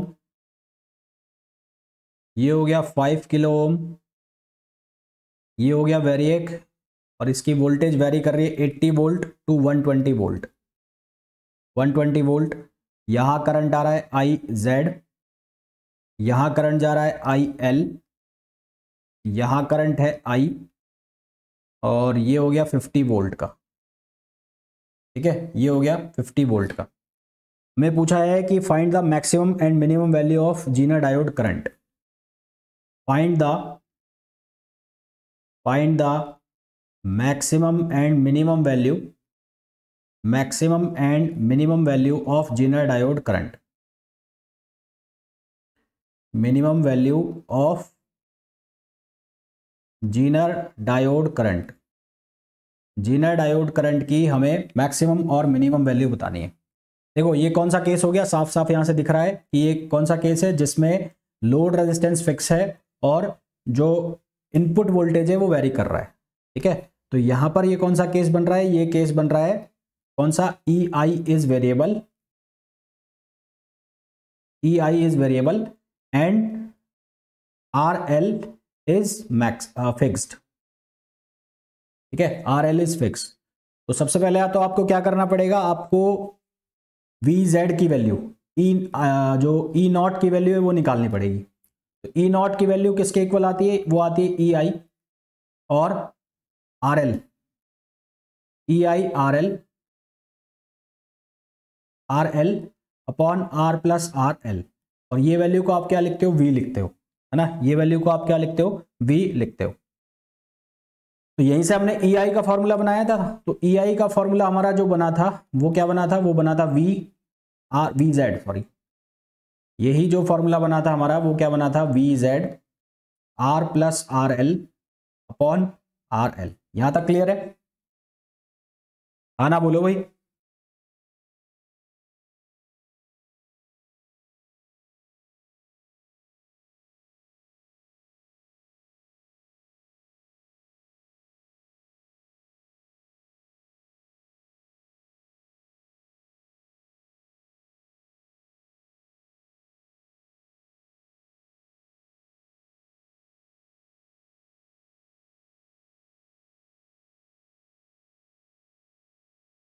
हो गया। अब पहले तो यहाँ चेक कर लो कि जीनर और ऑन स्टेट में या ऑफ़ स्टेट में। तो जीनर जो वोल्टेज है, वो गिवन है पचास वोल्ट की और जो इनपुट वोल्टेज है, उसकी रेंज दे रखी है। इनपुट वोल्टेज की रेंज है 80 वोल्ट से और 120 volt which is greater than which is greater than 50 volt है ना? तो ग्रेटर देन 50 वोल्ट है तो इसका मतलब जीनर ऑन स्टेट में एक बात तो क्लियर हो गई कि जीनर किस स्टेट में है? ऑन स्टेट के अंदर है। मैं निकालना मैक्सिमम और minimum value of Zener diode current तो जीनर डायोड, करंट की मैक्सिमम, मिनिमम वैल्यू निकालनी है तो वो कैसे निकल सकती है देखो, हमारे पास है आई आई की वैल्यू किसके बराबर होती है? I L plus I I Z तो वैन वैन ई आई की जो वैल्यू है, मैं मिनिमम लूँगा। ई e आई की वैल्यू मैं क्या लूँगा? मिनिमम लूँगा। तो उस केस में जो टोटल आई है, उसकी वैल्यू भी क्या हो जाएगी? Minimum. Since I L is fixed क्योंकि आई एल फिक्सड है तो उस केस में आई जेड भी क्या होगा? मिनिमम होगा। आई जेड भी क्या होगा? मिनिमम होगा। और जब ई आई मैक्सिमम हुआ था, उस केस में आई भी क्या हुआ था? मैक्सिमम हुआ था। और आई जेड भी क्या हो गया था? मैक्सिमम हो गया था। आई जेड भी क्या हो गया था? मैक्सिमम हो गया था। ठीक है? तो हमें अब ई आई की मिनिमम और मैक्सिमम वैल्यू के अकॉर्डिंगली काम करना है। तो मिनिमम और मैक्सिमम वैल्यू के अकॉर्डिंगली काम करेंगे, जिससे हमें आई मिनिमम और मैक्सिमम वैल्यू मिल जाएगी जीनर की। तो जब जीनर की हम मिनिमम वैल्यू निकाल रहे होंगे तो उस केस में ई e को हमें मिनिमम करना पड़ेगा। और जब जीनर की हम मैक्सिमम वैल्यू निकाल रहे होंगे तो उस केस में हमें जो जीनर करंट है, उसको सॉरी जो बैटरी है, उसको क्या करना पड़ेगा? मैक्सिमम की तरफ़ करना पड़ेगा। अब यहाँ पर दो रेंज है। एक रेंज है ये 80 टू 120 80 टू 120 तो अगर मैं इसको 80 वोल्ट लेता हूँ ना? तो अगर मैं इसको 80 वोल्ट लेता हूँ तो वैन ई आई की जो वैल्यू है मैंने 80 वोल्ट ले ली। ई e आई की वैल्यू अगर मैं 80 वोल्ट लेता हूँ तो इसके अक्रॉस जो वोल्टेज है, इसके अक्रॉस पाँच ओम का जो लोड है, उसके अक्रॉस वोल्टेज तो voltage across voltage across five ohm तो फाइव ऑफ़ के ओम के अक्रॉस वोल्टेज कितना आएगा? 80 और ये 50 किसका? जीनर का। 80 माइनस फिफ्टी एट्टी यहाँ से और फिफ्टी यहाँ से, ये माइनस दोनों ऑपोजिट पॉलरिटी होंगे ना एट्टी माइनस फिफ्टी, ये कितना हो गया? थर्टी। तो लोड करंट जो टोटल करंट है, वो कितना आएगा? फाइव वी अपॉन आर होता है, कितना आएगा? थर्टी अपॉन आर आर की वैल्यू कितनी है? फाइव तो ये आ जाएगा सिक्स मिली एम्पियर ये कितना आएगा? सिक्स मिली एम्पियर क्योंकि मैंने ई e आई की वैल्यू को मिनिमम लिया है तो सिंपल सी बात है आई की वैल्यू भी क्या हो गई? मिनिमम हो गई। आई की वैल्यू मिनिमम हो गई तो आई जेड भी क्या निकलेगा? मिनिमम निकलेगा। और मिनिमम कितने निकलेगा? सिक्स माइनस आई एल तो आई एल तुम्हें निकालना पड़ेगा। अब आई एल की वैल्यू कैसे निकालोगे? वो यहाँ निकाल लो। आई एल किसके बराबर होगा? E naught upon R L और ई नॉट की वैल्यू किसके बराबर होगी? V Z upon R L तो वी जेड कितना है? पचास। तो वी जेड है पचास फिफ्टी और आर एल की वैल्यू कितनी है? टेन तो इसकी वैल्यू तो रहेगी फाइव मिली एम्पियर ये किसकी वैल्यू रहेगी? आई एल की। तो आई जेड मिनिमम जो है, उसकी वैल्यू कितनी हो जाएगी? Six minus five equals to one milli ampere इसकी वैल्यू कितनी होगी? Six minus five equals to one milli ampere इसी तरह से अगर मेरे को मैक्सिमम निकालना है तो फॉर मैक्सिमम नेक्स्ट पेज पे कर लेते हैं। फॉर मैक्सिमम मैक्सिमम के लिए आपको ई e आई की मैक्सिमम वैल्यू लेनी पड़ेगी। तो ई e आई की वैल्यू ले ली आपने 120 वोल्ट 120 है ना वो? हाँ 120 तो इसके लिए आप आई मैक्स की वैल्यू निकाल लो। तो आई मैक्स की वैल्यू कितनी हो जाएगी अब? वन ट्वेंटी माइनस फिफ्टी पहले आपने एट्टी माइनस फिफ्टी किया था, अब आप करोगे वन ट्वेंटी माइनस फिफ्टी और जो रेजिस्टेंस है लोड रेजिस्टेंस सॉरी रेजिस्टेंस उसकी वैल्यू है फाइव तो ये फाइव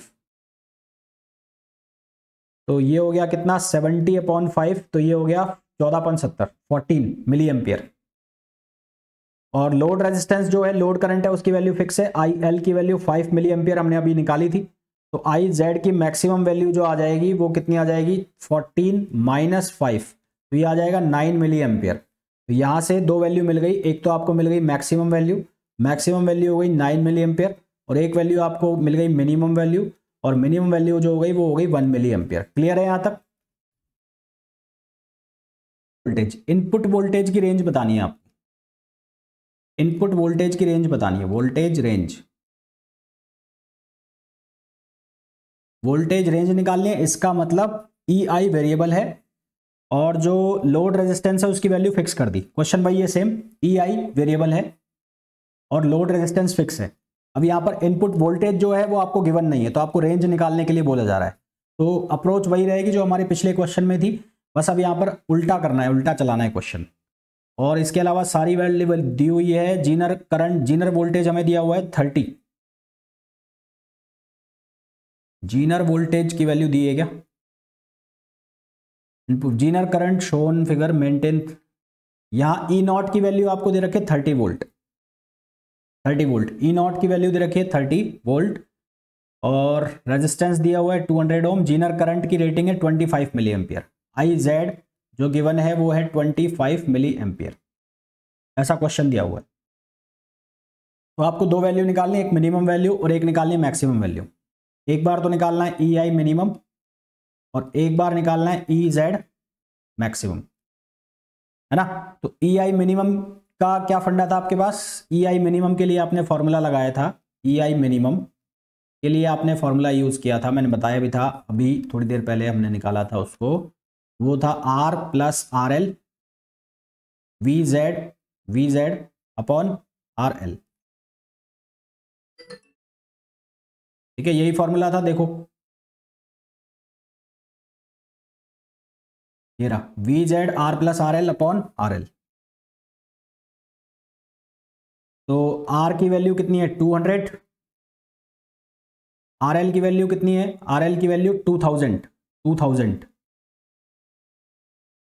और upon R L R L की वैल्यू कितनी है? टू थाउज़ेंड और वी जेड कितना हो जाएगा? थर्टी वोल्ट ही हो जाएगा। दोनों को सेम मैच कराना है तो थर्टी वोल्ट वी जेड की वैल्यू तो यहाँ से जब इसको सॉल्व करोगे तो कितना बनेगा ये? ये बनेगा two two zero zero over two thousand into thirty तो तीन, ये दो तीन। तो थर्टी थ्री वोल्ट तो ई e मिनिमम की वैल्यू कितनी आ गई? थर्टी थ्री वोल्ट आ रही है क्या? ई e मिनिमम की वैल्यू कितनी आ रही है? थर्टी थ्री वोल्ट अच्छा यहाँ पर एक चीज़ ध्यान रखना, ये कंडीशन जब हम बना रहे हैं तो ये कब बना रहे हैं? When Zener is removed Zener is removed Zener is removed मतलब आई जेड की वैल्यू हम क्या करते हैं? ज़ीरो करते हैं. तो मिनिमम वोल्टेज कब बनता है? मिनिमम इनपुट वोल्टेज कब बनता है? जब जीनर करंट को हम क्या कर देते हैं? ज़ीरो कर देते हैं. जीनर करंट को क्या कर देते हैं? ज़ीरो और मैक्सिमम जो वोल्टेज है वो कैसे निकाला था हमने? आई मैक्स की value I max R plus V Z तो ई e मैक्स की वैल्यू किसके बराबर है? E max I max R plus V Z तो वी जेड तो है तुम्हारे पास, कितना है वी जेड थर्टी है। अब आर की वैल्यू भी तुम्हारे पास है 200 तुम्हें किसकी वैल्यू निकालनी है? आई की वैल्यू निकालनी है। किसकी वैल्यू निकालनी है? आई की वैल्यू निकालनी है तो आई की वैल्यू कैसे निकालोगे? ये जीनर करंट दिया हुआ है तुम्हें। तो आई की जो वैल्यू हो जाएगी, वो कितनी हो जाएगी? 25 I Z plus I L I की वैल्यू हो जाएगी I Z plus I L I Z तुम्हें दिया हुआ है twenty five milli ampere I L की वैल्यू कैसे निकालोगे? आई एल की वैल्यू को thirty over two thousand thirty over two thousand यहाँ लिख देता हूँ मैं।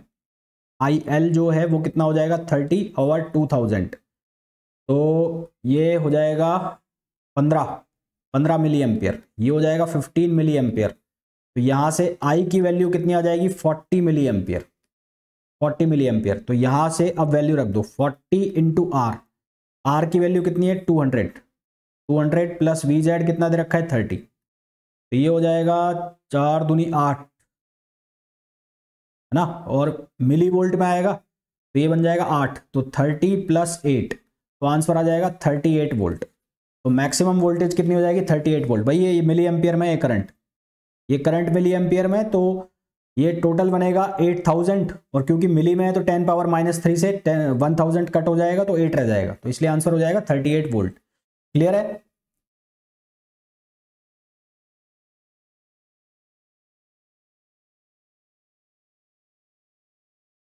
What value of series resistance is required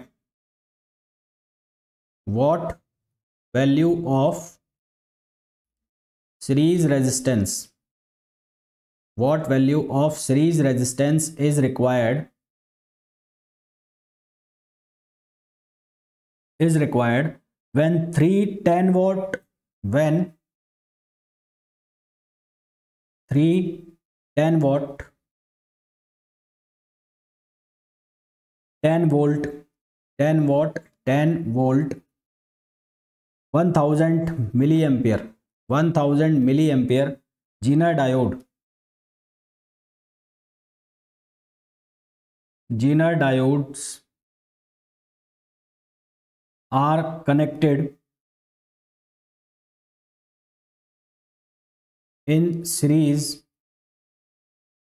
to obtain a to obtain a thirty volt regulated output, thirty volt regulated output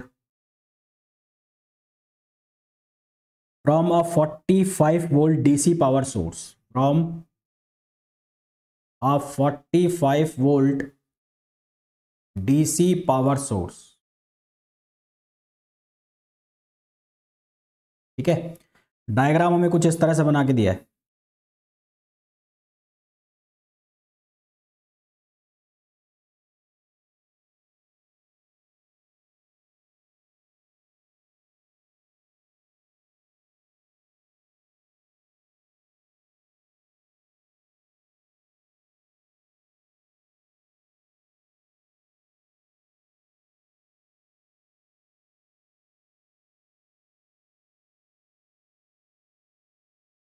E naught is equals to thirty volt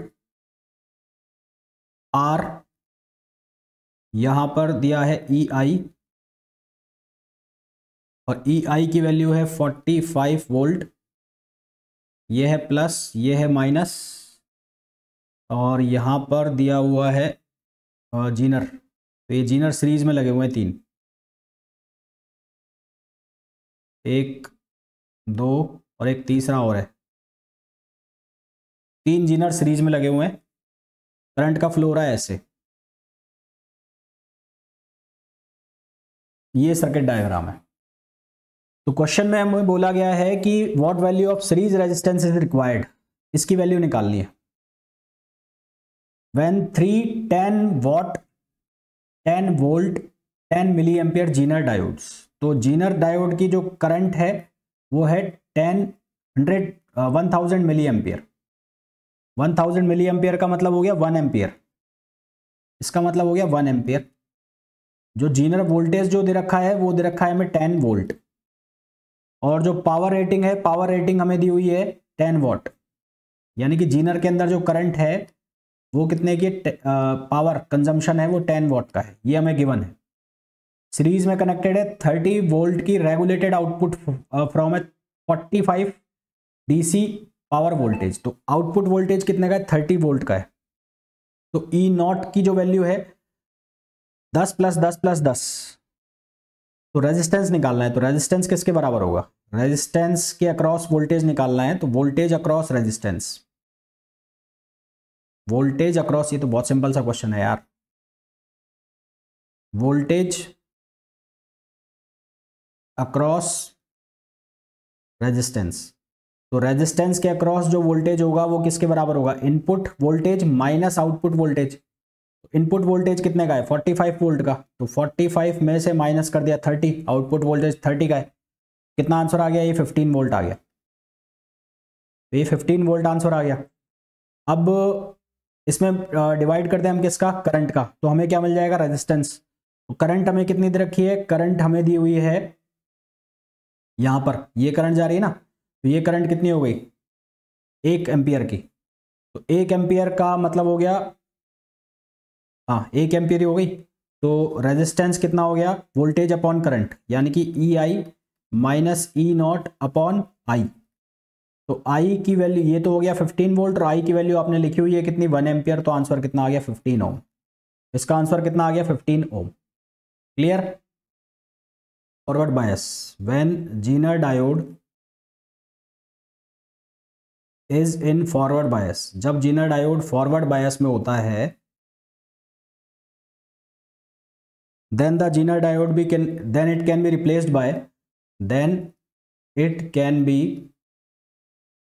replaced by replaced by a DC voltage source, replaced by a DC voltage source DC voltage source of the value of the value of cut voltage cut off voltage of semiconductor. Cut off voltage of given semiconductor. इस बात का क्या मतलब है? इस बात का मतलब ये है जैसे कि आ, जो हम बात करते हैं सिलिकन के लिए उसकी कट ऑफ़ वोल्टेज होती है 0.7 जर्मेनियम के लिए होती है 0.3 तो अगर वो फॉरवर्ड बाइस में है तो हम कट ऑफ़ वोल्टेज में उसको कन्वर्ट कर देते हैं जो कि उसकी वैल्यू होती है। ठीक? फिर डोपिंग कॉन्सेंट्रेशन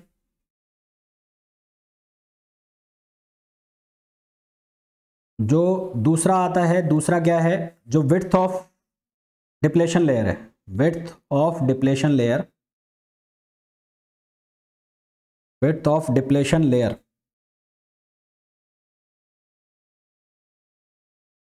इसको हम रिप्रेजेंट कर रहे हैं डब्ल्यू से। डब्ल्यू इनवर्सली प्रोपोर्शनल होती है one upon doping concentration one upon doping concentration और इसका अंडर रूट यानी कि आप अगर डोपिंग कॉन्सेंट्रेशन बढ़ाओगे तो जो डिप्लेशन लेयर की विथ है वो कम होगी और डोपिंग कॉन्सेंट्रेशन को कम करोगे तो डिप्लेशन लेयर की विथ है जो वो बढ़ेगी। सिमिलरली जो इलेक्ट्रिक फ़ील्ड है electric field electric field electric field को मैं लिख रहा हूँ ई e से, ये प्रोपोर्शनल होता है इन्वर्सली डोपिंग जो विथ है। विथ यानी कि डिप्लेशन लेयर के विथ डिप्लेशन लेयर की विथ ज़्यादा होगी तो इलेक्ट्रिक फ़ील्ड कम लगेगा और डिप्लेशन लेयर की विथ कम होगी तो इलेक्ट्रिक फ़ील्ड ज़्यादा लगेगा। ठीक है? इलेक्ट्रिक फ़ील्ड क्या होगा? ज़्यादा होगा।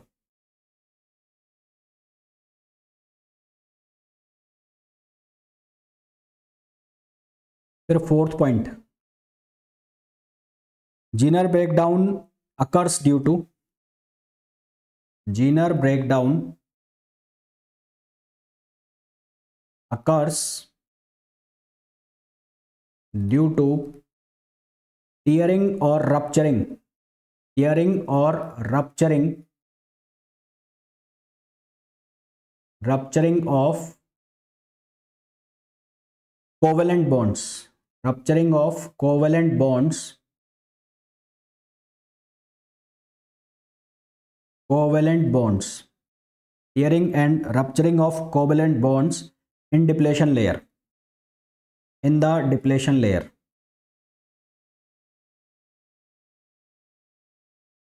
Fifth point है Zener breakdown occur due to large electric field Zener भाई इलेक्ट्रिक फ़ील्ड लार्ज होगा तो विर्थ बहुत कम हो जाएगी विर्थ बहुत कम हो जाएगी तो वो सर्किट क्या हो जाएगा? जल जाएगा। तो Zener breakdown breakdown occur due to large electric field सीधा सा कारण है कि e प्रोपोर्शनल है वन अपॉन डब्ल्यू ई की वैल्यू जितनी ज़्यादा होगी डिप्लेशन लेयर की विथ उतनी कम होगी उतनी कम होगी तो वो आराम से ब्रेक डाउन हो जाएगा उसका। Zener breakdown occurs Zener breakdown occurs Zener breakdown occurs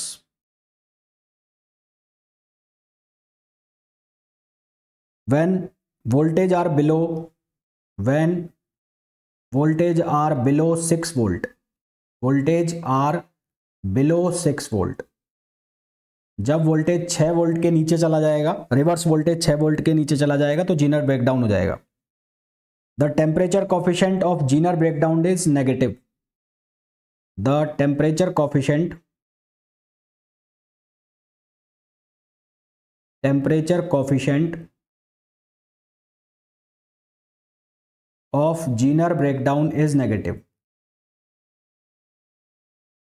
Breakdown is negative. इसका टेम्परेचर कॉफिशेंट क्या होगा? नेगेटिव होगा जीनर ब्रेकडाउन का। Zener breakdown voltage decrease decrease with temperature. तो Zener voltage, Zener breakdown voltage, Zener breakdown voltage decrease with temperature, decrease with temperature because of negative temperature coefficient because of negative temperature coefficient NTC NTC का मतलब है negative temperature coefficient